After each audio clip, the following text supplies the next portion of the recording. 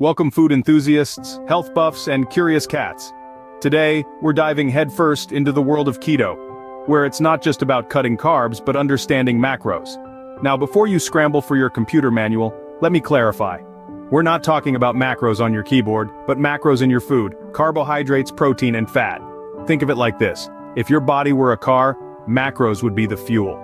You wouldn't expect your car to run smoothly without the right kind of fuel, would you? Similarly, your body needs the right mix of macros to function at its best, especially when you're on a keto diet.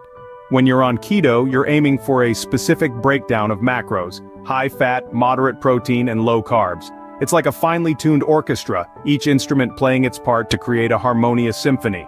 But if one instrument is out of tune, the whole performance can go awry. In the same way, if your macros are imbalanced, your keto journey may hit a few speed bumps. But why is it so important to get your macros right? Well, getting your macros wrong can lead to a few challenges. For one, it can stall your weight loss. You might be thinking, I've cut carbs, why isn't the scale moving? But remember it's not just about cutting carbs, it's about getting the right balance of macros. Secondly, focusing solely on macros without considering micronutrients can lead to nutritional deficiencies. You might be hitting your macro targets but missing out on essential vitamins and minerals. It's like having a car with a full tank of gas but no oil. You're not going to get very far. And finally, imbalanced macros can contribute to some unwanted side effects. Ever heard of the keto flu? Symptoms like fatigue, headaches, and constipation can all be signs that your macros are out of balance. So it's clear that understanding macros is crucial for a successful keto journey. But don't worry, we're here to help you navigate this. In the next few minutes we'll be exploring how to calculate and track your macros, and how to avoid common pitfalls. So, buckle up and get ready to become a master of macros. Remember, it's not just about cutting carbs, it's about understanding the bigger picture. So let's dive in and start our macro journey together. So, you've jumped on the keto bandwagon but the scales aren't budging? Maybe you're ignoring your macros. Ignoring macros on a keto diet is like trying to drive a car with an empty gas tank, it's just not going to work.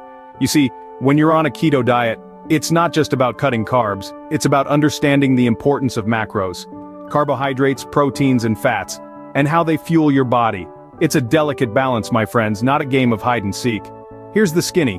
When you miscalculate your macros, you might end up overeating or not getting enough of those keto-friendly fats. It's like hosting a party and not ordering enough pizza for everyone. The result? A stalled weight loss and a bunch of hangry partygoers. But that's not all.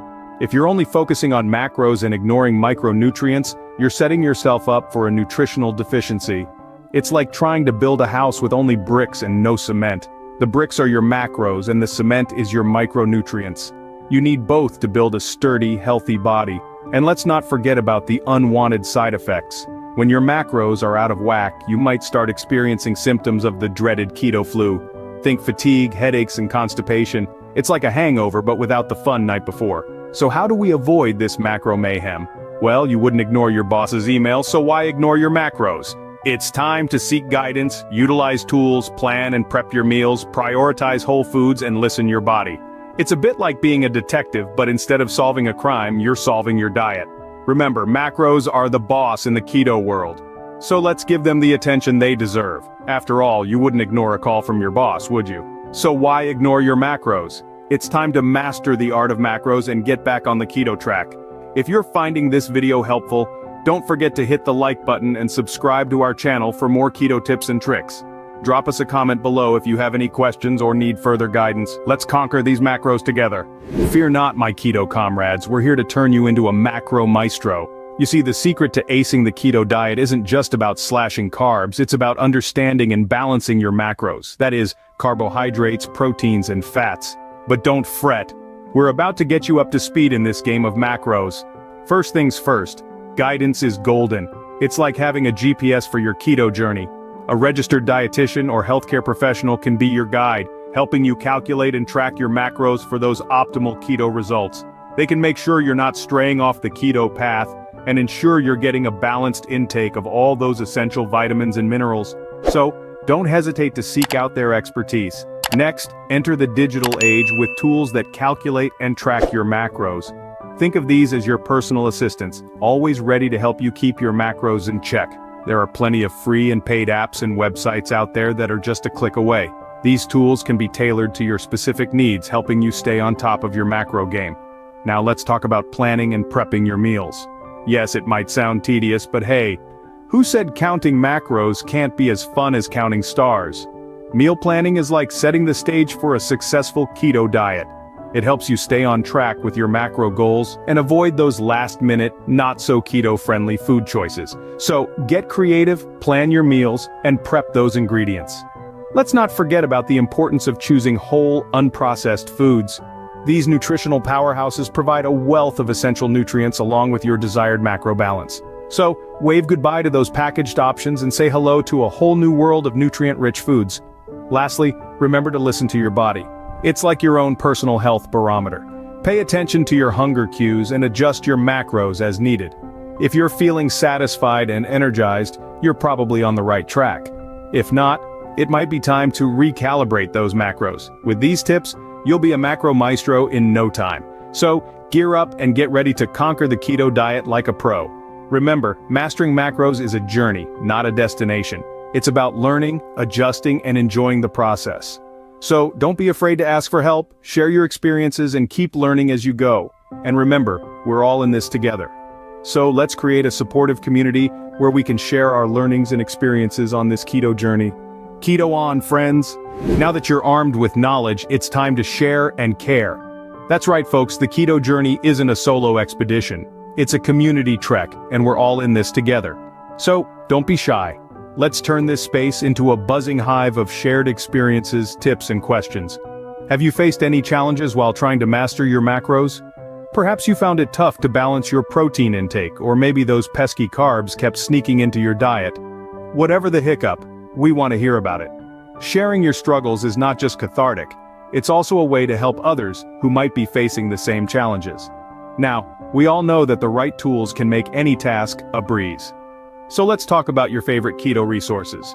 Maybe you found a nifty app that calculates your macros in a jiffy, or perhaps you stumbled upon a helpful blog that demystified the keto diet. Whatever your go-to resources are, do tell. Your recommendation might just be the game changer someone else needs. And of course, if you have any questions, doubts, or concerns about understanding and implementing macros on your keto journey, don't hesitate to ask. No question is too small or too silly. Remember we're all learning together. So let's make this space a safe haven for curiosity and discovery. Finally, keep in mind that mastering macros is a learning process. It's okay if you don't get it right the first time or even the second or third. Be patient with yourself. Ask for help when needed. Don't be afraid to adjust your approach as you go. After all, the keto journey is not about perfection, it's about progress. So let's create a supportive community where we can share our learnings and experiences on the keto path. Every story shared, every question asked, every tip given enriches this community and makes our collective keto journey more meaningful.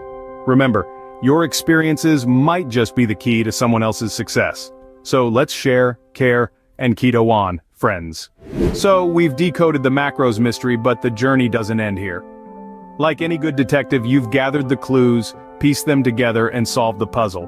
But remember, Rome wasn't built in a day, and neither is your perfect keto diet. Navigating the keto diet can be tricky, but understanding macros, those cheeky little carbohydrates, proteins, and fats, is your secret weapon. And hey, if you find yourself straying off the keto path, don't sweat it. It's all part of the process. Remember there's no such thing as a perfect diet, only the diet that's perfect for you. Listen your body, adjust as needed, and don't forget to enjoy the journey. After all, it's not just about the destination, but the delicious, keto-friendly meals you'll discover along the way. Keep calm, keto on, and don't forget to subscribe for more food for thought. And while you're here, if you found this video helpful, don't forget to give it a thumbs up and hit that subscribe button so you don't miss out on our future videos.